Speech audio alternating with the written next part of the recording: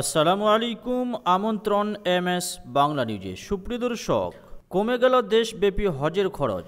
দু হাজার বাইশ সালের তুলনায় চলতি বছরে কমল হজের খরচ, কিন্তু বিভিন্ন রাজ্যের খরচ ভিন্ন রকম। বিস্তারিত আলোচনা করব ভিডিওটি শেষ পর্যন্ত দেখুন। ভালো লাগলে একটি লাইক দিন, চ্যানেলটি সাবস্ক্রাইব করুন। আগে থেকে সাবস্ক্রাইব করলে অসংখ্য ধন্যবাদ। দু হাজার তেইশ সালের জন্য যারা পশ্চিমবাংলা থেকে পবিত্র হজ সম্পন্ন করতে যাবেন তাদের খরচ কত হবে সে সম্পর্কে বিজ্ঞপ্তি প্রকাশ করল হজ কমিটি অফ ইন্ডিয়া। চলতি বছর বাংলার হজযাত্রীদের কোরবানি সহ হজের খরচ দিতে হবে তিন লক্ষ বিরানব্বই হাজার ছশো তিরাশি টাকা। হজ কমিটির বিজ্ঞপ্তিতে দেখা যাচ্ছে দু হাজার বাইশ সালের থেকে সামান্য খরচ কমেছে, যদিও দু হাজার বাইশ সালে করোনা বিধির জন্য সীমিত পরিসরে হজ সম্পন্ন হয়েছে। প্রতিটি দেশ থেকে সীমিত হজযাত্রী গিয়েছিলেন হজ সম্পন্ন করার জন্য। যার কারণে খরচ বেশি ছিল। গত বছর হজের খরচ ছিল চার লক্ষ আঠারো হাজার। এরপরেও একুশ রিয়াল করে ফেরত দেওয়া হয় ভারতীয় হাজিদের। কিন্তু এবছর কেন্দ্রের নয়া নিয়মে কোনো টাকা ফেরত দেওয়া হবে না হাজিদের। যদিও কেন্দ্র সরকারের পক্ষ থেকে দাবি করা হচ্ছে, হজের খরচ কমানো হচ্ছে। বাস্তবে কিন্তু সবটাই ভিন্ন। এবার পশ্চিমবাংলা থেকে যারা হজ করতে যাবেন, তাদের কুরবানি সহ দিতে হবে তিন লক্ষ বিরানব্বই হাজার ছশো তিরাশি টাকা।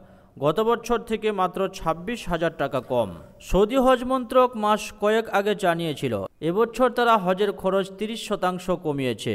সেক্ষেত্রে ভারতীয়দেরও তিরিশ শতাংশ কমালে এক লাখ কুড়ি হাজার টাকা কমার কথা। কিন্তু বাস্তবে তা হয়নি। ঘুরিয়ে ভারতীয় হজযাত্রীদের কাছ থেকে দু হাজার বাইশ সালের মতোই হজের খরচ নেওয়া হচ্ছে। এবছর এখনও পর্যন্ত হজযাত্রীরা প্রথমে একাশি হাজার আটশো টাকা জমা দিয়েছেন। এরপরে এক লাখ সত্তর হাজার টাকা জমা দেওয়া হয়েছে।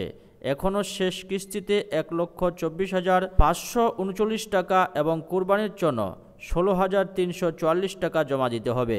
আর এই টাকা আগামী পনেরোই মের মধ্যে নির্দিষ্ট অ্যাকাউন্টে জমা করতে হবে।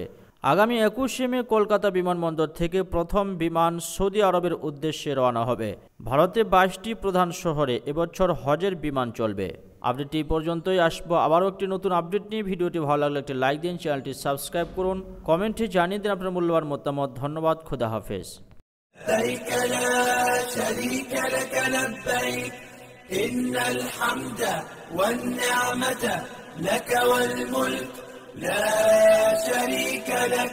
لبيك اللهم لبيك لبيك لا شريك